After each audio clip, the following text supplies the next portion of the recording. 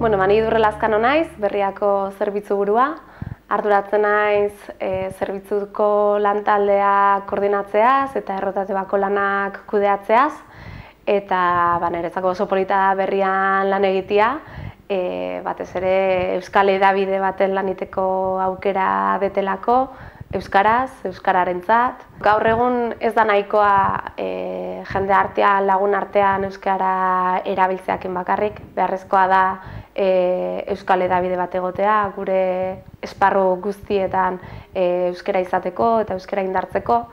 Eta ba, horregaitik e, eskertuko genuke berria lagunak izango bazinaten eta gure komunitatean parte ingo bazinezten.